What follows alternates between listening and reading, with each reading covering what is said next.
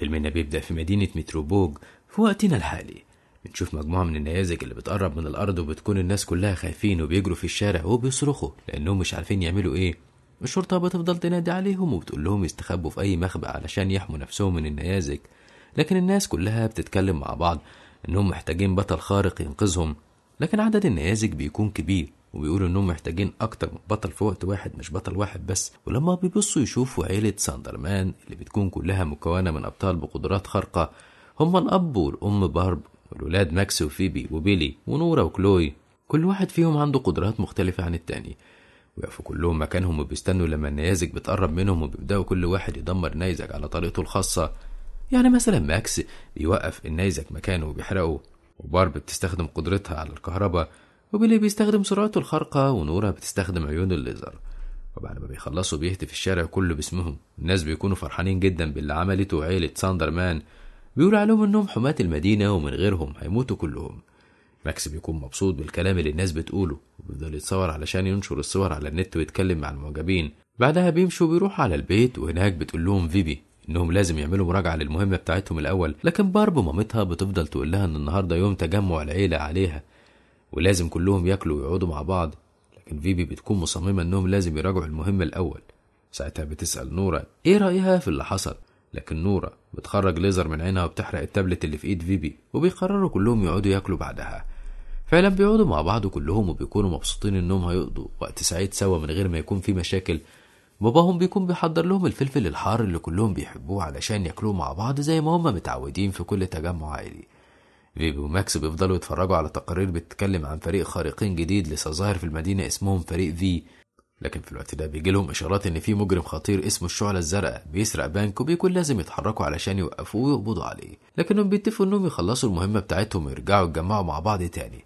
فعلا بيتحركوا كلهم. هناك بيتفاجئوا إن فريق في بيوصلوا وبيتدخلوا علشان يمسكوا الشعلة الزرقاء. ساعتها بيتخانق الفريقين مع بعض وبيكون كل واحد فيهم عايز هو اللي يمسك الشعلة الزرقاء علشان ما يبقاش فريق أفضل من التاني. بيبدأوا يتخانقوا مع بعض وبيحاول فريق ساندر مان إنهم يستخدموا قدراتهم على الشعلة الزرقاء لكنه بيقدر يهرب منهم. ساعتها واحد من فريق في بينجح إنه يستخدم قدرات الليزر اللي عنده يقبض عليه. بعد اللي حصل ده وفريق ساندر مان بيمشوا وهم زعلانين جدا بعد ما حسوا إن فريق جديد ظهر وبقى أحسن منهم وعندهم قدرات أفضل.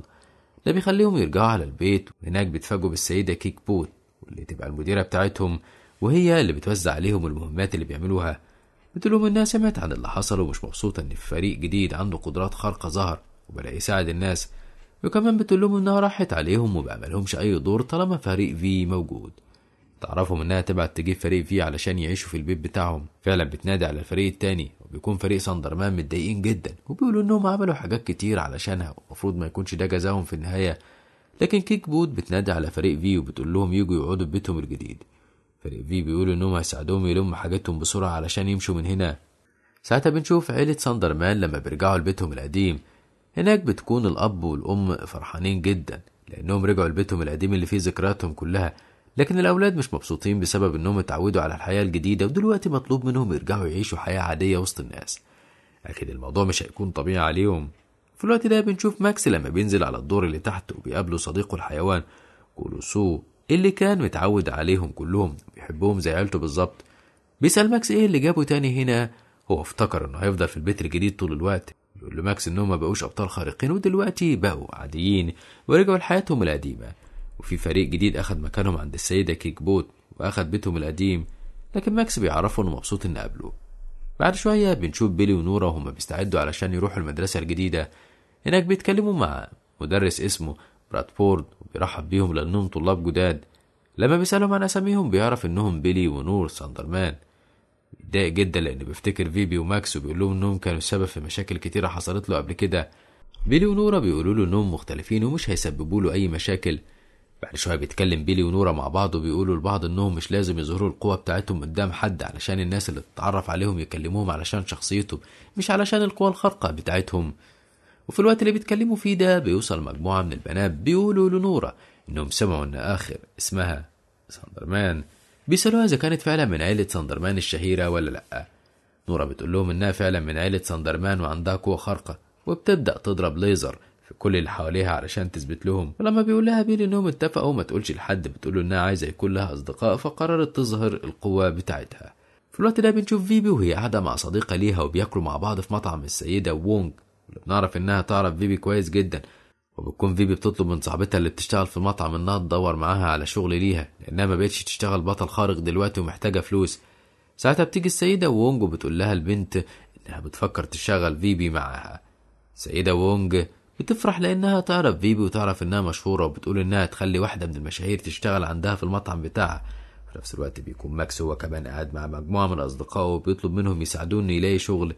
لكن صاحب المكان اللي هم قاعدين فيه بيجي يتخانق معاهم علشان يمشوا من المكان اللي هم فيه. بعدها بنروح للسجن الخارق وبنشوف ثلاثة من أخطر المجرمين وهم دارك مايهام وكينج كراب وسترونج دور وبيجي لهم مسؤول السجن بيقول لهم إن عندهم زيارة. بيتدخل فريق في الخارق وبيبدأوا يتكلموا مع المساجين التلاتة.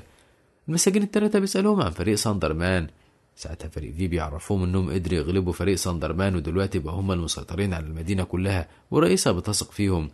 ساعتها بيرد عليهم دارك مايهام وكينج كراب سترونج دور بيقولوا لهم إن كده الخطة بتاعتهم نجحت. فجأة بنشوف فريق في لما بيخلع اللبس اللي لابسه ده وبيظهر على شكله الحقيقي. وبنعرف إنهم يبقوا ولاد المساجين التلاتة. وبيوعدوهم إنهم هيخرجوا من هنا دلوقتي ويحكموا العالم مع بعض وكمان هيقدروا ينتقموا من عيلة ساندرمان بيقولوا إنهم هيقدروا يحققوا ده أول ما يوصلوا للمولد الخارق اللي عندهم. بعدها بنروح لعيلة ساندرمان وبنشوف ماكس وفيبي وهم بيتكلموا مع العيلة.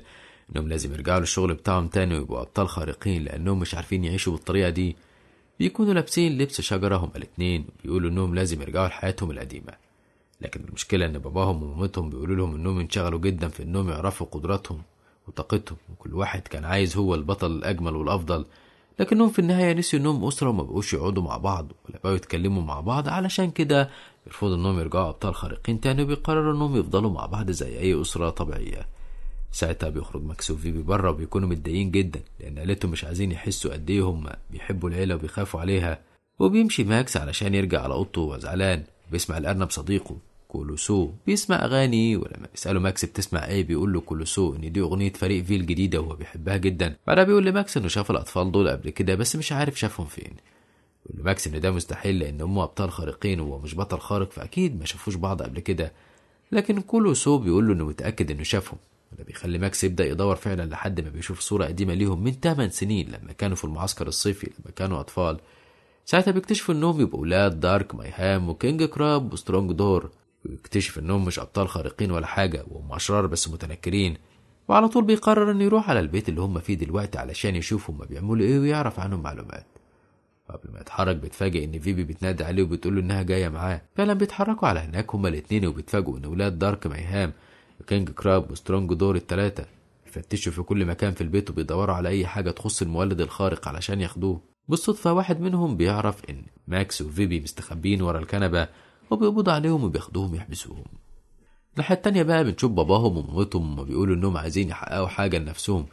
وبيكلموا صديق ليهم وبيقولوا له إنهم عايزين يسوقوا طيارة هليكوبتر. فعلا بياخدوا منه طيارة وبيركبوها.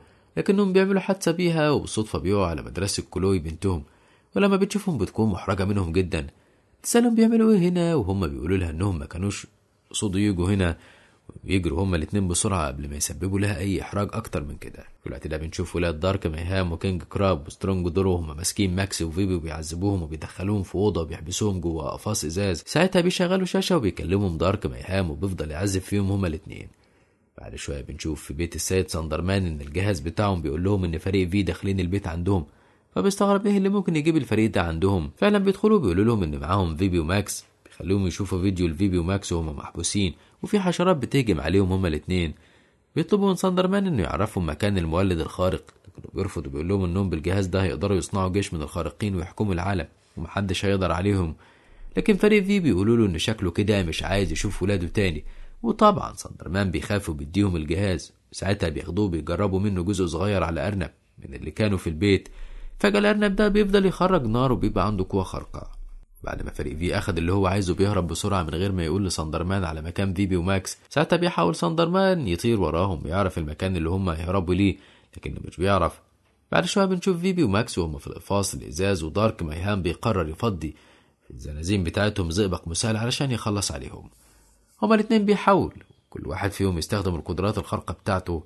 تحاول فيبي إنها تجمد الزئبق لكنها مش بتعرف. وماكس هو كمان بيحاول لكن المحاولة بتفشل بيستسلموا هما الاتنين. في انهم خلاص هيموتوا لكن في الوقت ده بيشوفوا مأكولات بره القفص وبيقدروا إنهم يتحكموا فيها وبيسحبوا جزء منها لحد القفص الإزاز وبيفجروا وبينجحوا إنهم يهربوا.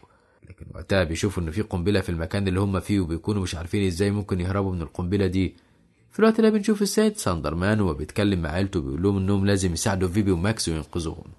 لكن المشكلة إن في قبة بلورية حوالين المدينة اللي هم فيها كلها وبتكون دي القبة اللي صنعها فريق في وهم لوحدهم مش هيقدروا يكسروا القبة دي. عشان كده بيفضلوا يفكروا في حل وكل واحد فيهم بيدور لوحده لحد ما بتقول لهم كلوي إنها لقت حبوب زي اللي كانت موجودة في الجهاز اللي أخده فريق في واللي هو جهاز مولد القوة الخارقة.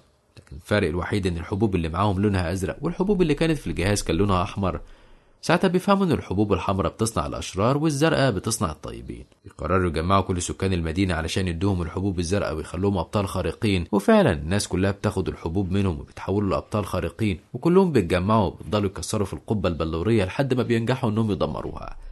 ساعتها بيشكروا كل الناس اللي ساعدتهم وبيتحركوا كلهم وبيستخدموا القدرة الخارقة بتاعة كلوي وبتنقلهم من مكانهم للمكان اللي فيه فيبي وماكس هناك بيكون فاضل ثواني قليلة على انفجار القنبلة. سيد ساندرمان لحسن الحظ بيتصرف وبيدمر القنبلة وبينقذ ماكس وفيبي. ساعتها بيقولوا لبعض انهم لازم ينقذوا العالم قبل ما يتدمر ولازم يوقفوا المخطط بتاع دارك مايهام وكينج كراب وسترونج دور وهو إنهم يصنعوا جيش من الخارقين ويحاربوا بيه العالم كله ويسيطروا عليه. فعلا بيستغلوا قدرة كلوي وبيختفوا كلهم وبيظهروا في المكان اللي فيه دارك مايهام. وكينج كراب وسترونج دور وبتبدأ معركة قوية بينهم وبين بعض. تفضل الحرب مستمرة لحد ما بيقدر عيلة ساندرمان إنهم يجمدوهم ويخلوهم مش عارفين يتحركوا من مكانهم. وساعتها واحد منهم بيقدر يحرر نفسه وبينجح إنه يطير بالطيارة اللي فيها الجهاز بتاع صناعة الخارقين. ساعتها بتقول كلوي إنها لازم تنقذ العالم وتوصل للطيارة وتشيل منها الجهاز. لكن باباها ومامتها بيمنعوها وبيقولوا لها إن اللي بتعمله ده خطر وهم مش هيسمحوا ليها تعمل كده. لكن كلوي بتفضل تقول لهم إنها عارفة إنها بتعمل إيه كويس. توعدهم إنها تاخد بالها على نفسها وكمان. بيروح معاها فيبي وماكس علشان يطمنوا إنها تكون كويسة ومش هيحصل لها أي حاجة. فعلا بيختفوا وبيظهروا على الطيارة وبينجحوا إنهم يعطلوها وبياخدوا منها الجهاز اللي فيها. ويرجعوا على العيلة وبيقدروا إنهم ينقذوا العالم. وبيكونوا كلهم فرحانين بكلوي وماكس وفيبي. وبعد ما كل حاجة بتخلص بيرجعوا على البيت وبيعيشوا حياتهم بشكل طبيعي. ساعتها بتيجي الرئيسة كيك بوت وبتشكرهم على كل اللي عملوه. بتقول لهم إنها عارفة إنها غلطت فيهم. مش هتعمل كده تاني. وبتديهم عرض إنهم يرجعوا الشغل بتاعهم تاني ويرجعوا البيت القديم كمان. ساعتها كلهم بيوافقوا وبيفرحوا جدا وبيقرروا إنهم يرجعوا الشغل لكن بيختاروا إنهم يفضلوا في البيت ده لأن ده البيت اللي عاشوا فيه أجمل أيام حياتهم. ولما بيخرجوا بره البيت بيشوفوا كل السكان اللي ادوهم الحبوب الزرقاء وخلوا عندهم قدرات خارقة لكن بيقرروا يستخدموا قدرة التجميد وبيجمدوهم مكانهم وبيدخلوا تاني علشان يرتاحوا شوية بعد ما كل حاجة خلصت. وكده يخلص الفيديو بتاعنا النهاردة. لو عجبك ما تنساش دعمنا باللايك والشير للفيديو وما تنساش الاشتراك في القناة وتفعيل الجرس. علشان يوصلك إشعار بكل جديد بنعمله.